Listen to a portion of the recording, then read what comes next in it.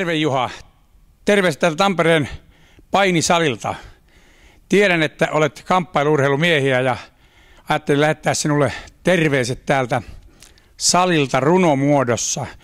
Voitettuani olympiakultaa minulta usein kysyttiin, että minkä tasoinen runoilija sinä olet. Olen aina sanonut, että olen suurin piirtein samaa tasoa runoilijana kuin Tommi Taberman painijana.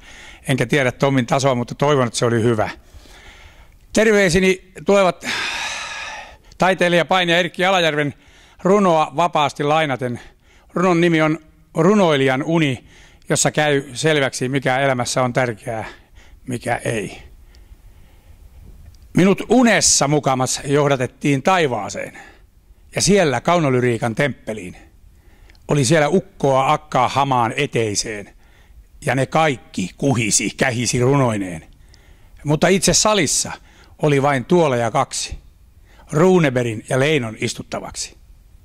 Astuin arkana peremmälle, sanoi Runeberi minut nähtyään, sinun Eino on noustava seisomaan, että mahtuu Perttikin istumaan. Ajattelin, varmana närkästyy, mutta ei, nyt näin kuinka herrasmies käyttäytyy.